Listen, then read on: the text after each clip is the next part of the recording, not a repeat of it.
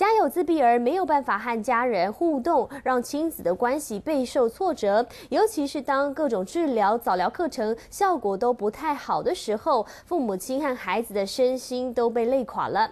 而现在呢，有一些马术治疗、艺术治疗，甚至是舞蹈治疗加入了亲子互动，彼此放松心情，效果反而更好。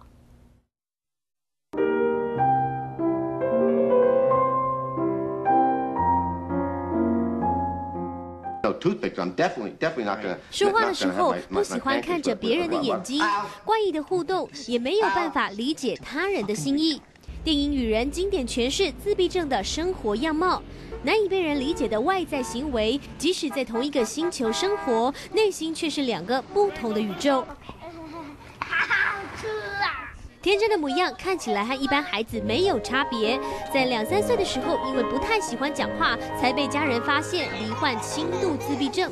靠着马术治疗，增加了和外在的互动。他停一下，我们就要跟他说：“哎，我们刚刚有说，我们只要喂几个，我们就要结束了，因为我们等一下还有什么活动要进行，让他的生活更有规律。”诱发孩子对外界的兴趣，需要找对方法。不是每个人都可以享受到马术治疗。